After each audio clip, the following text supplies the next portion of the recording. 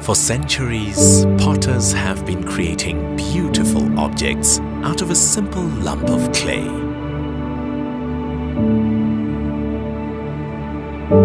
This is the story of Wonki Ware, a vision for what individuals can do, for what a community can become, and the opportunity to see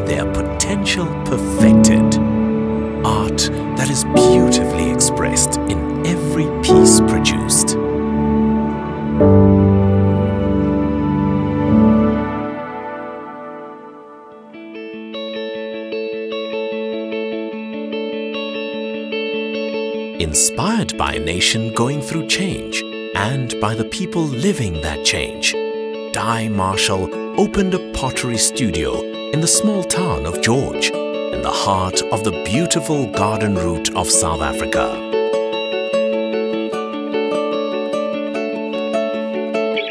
Today, Wonki Ware is globally recognized and appreciated.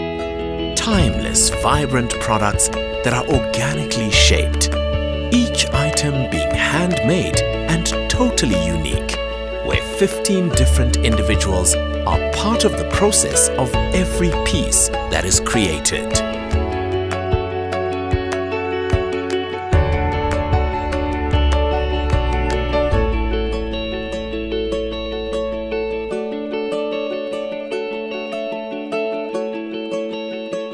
By providing work for 80 previously unemployed people, Wonki Ware has promoted social upliftment in the community, where each piece of pottery has played a vital role in changing the lives of the artisans that make them.